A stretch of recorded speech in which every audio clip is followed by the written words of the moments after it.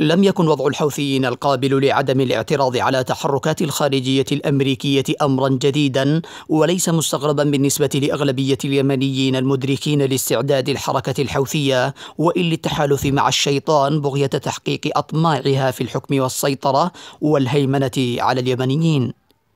تصريحات عبد الملك العجري عضو المكتب السياسي للحركة الحوثية بالأمس عن لقاء جمع ممثلين عن الجماعة مع جون كيري وزير الخارجية الأمريكي كوسيط في العاصمة العمانية مسقط. أثارت استفسارات تثير الشفقة حول مشاعر أهالي القتلى ممن دفع بهم الحوثيون للقتال تحت كذبة مواجهة أمريكا.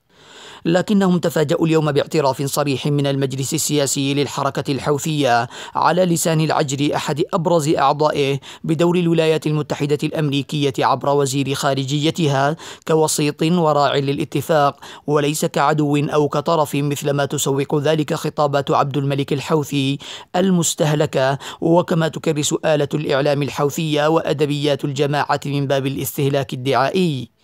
متأثرة في ذلك بأساليب الدعاية الإيرانية التي تعتبر أمريكا الشيطان الأكبر في وسائل إعلامها وفي ذات الوقت توقع اتفاقات معها كما تلعب في الواقع دور شرطي أمريكا في المنطقة. تحت زيف شعارات الموت لأمريكا دفعت الحركة الحوثية بكتل المخدوعين إلى المحرقة وقتل الآلاف منهم في تعز ومأرب والبيضاء والضالع. وقبل ذلك في لحج وعدن وشبوة والجوف وهم يعتقدون أنهم يقاتلون أمريكا.